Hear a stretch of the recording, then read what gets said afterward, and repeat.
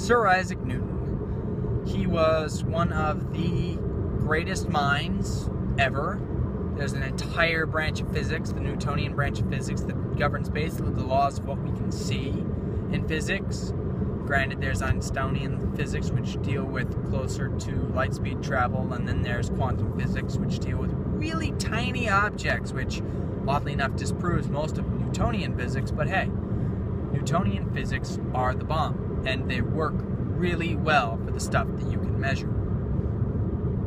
It's all the other stuff that you just or that you can't measure. Yeah, it's all the really small or really big stuff that you just can't measure that it doesn't work for. And yeah, I was thinking the other day, I was actually watching the TV show Cosmos, and Newton.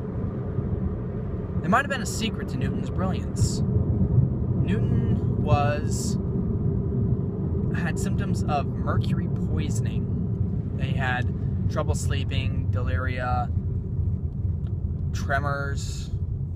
Those are all symptoms of mercury poisoning. They tested some of his, I think it was hair, after he died, and they found mercury from his experiments in alchemy and stuff like that.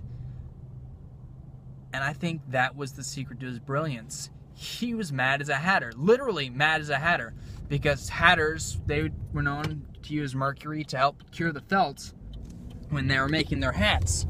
So, when Newton was fiddling around with mercury, some of it got into his veins, and all of a sudden he goes crazy.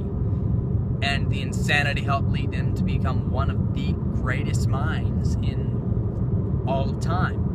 I mean, that's just my personal theory. I can't go back and meet him. Maybe I could, but uh, not yet. There isn't that branch of physics yet. Needs someone to do with mercury poisoning. But think about it mercury poisoning. Look it up.